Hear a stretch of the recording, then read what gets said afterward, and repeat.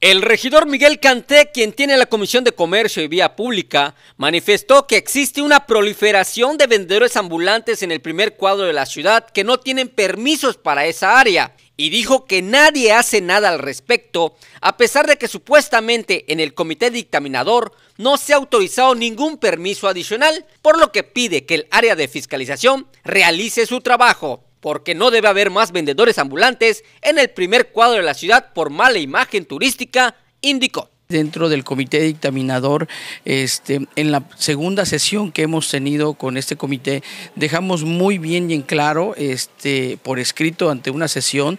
que no se debe de tener eh, el aumento más de vendedores ambulantes dentro del primer cuadro de la ciudad. Y lo voy a recalcar porque el primer cuadro de la ciudad para nosotros está comprendido desde la Rafael Melgar, de la calle Adolfo Rosado Salas, subiendo hasta la décima avenida y terminando en la calle 2 Norte. Este primer cuadro de la ciudad para nosotros es de mucha importancia, como ustedes bien saben, vivimos del turismo y nuestra imagen urbana, nuestra imagen turística es la que queremos hoy resaltar para bien.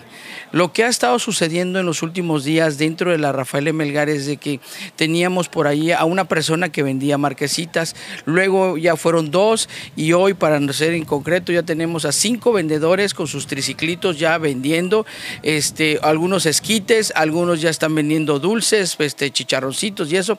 y eso realmente pues hay que decirlo con todo lujo de detalles, nos está faltando supervisión de parte de la tesorería municipal en el aspecto de que nuestros supervisores de, en este caso, bueno, los inspectores de, fiscales deben de estar pendientes por las noches, sobre todo, a partir de las 8 y 11 de la noche en ese periodo, vemos este, esta gente que está, eh, pues ahora sí que de ambulante, porque realmente lo que hacen es que llegan a una esquina, venden una, dos marquesitas y se mueven a otra, o sea, están en movimiento. Eh, no están fijos, hay que decirlo también, pero sí están sobre la Rafael Melgar. En Cozumel todo se está permitiendo y el día de mañana también se tendrán más calesas en la isla, a pesar de que por ley ya no deben circular, pero nadie hace nada, manifestó. Es importante también mencionar de que si eso está sucediendo, nos está pasando con el tema de las calesas. Hoy en las calesas vemos a uno y mañana vamos a ver a dos, a tres, a cuatro, porque nadie ha reglamentado, porque nadie ha puesto mano dura